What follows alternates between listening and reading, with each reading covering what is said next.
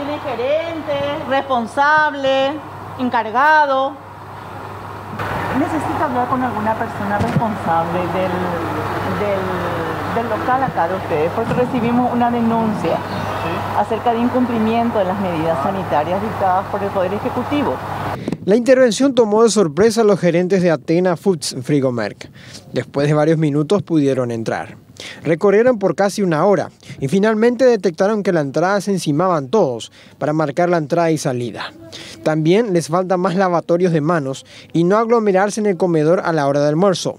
Hay unas reglas que ya están establecidas por el Ministerio de Salud. Por ejemplo, este, mm, la utilización de lavatorios móviles, por ejemplo, a la entrada. Por ejemplo, la marcación en el, en el, en el, en el piso de cada cuánto los funcionarios deben esperar para poder ingresar y egresar al sitio de trabajo. Eh, la no utilización de los relojes digitales. La, la no acumulación en el comedor y en los vestuarios.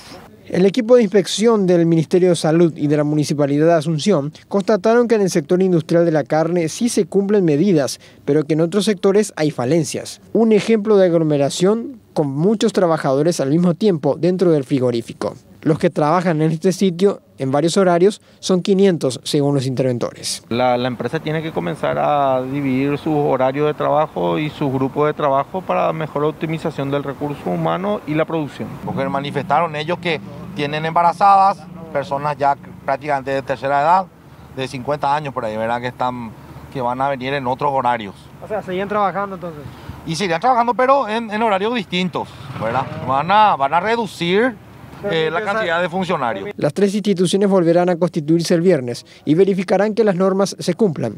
De lo contrario, el propietario se expone a una pena carcelaria de cinco años por el hecho punible de incumplimiento de medidas sanitarias que perjudican a los trabajadores de una empresa.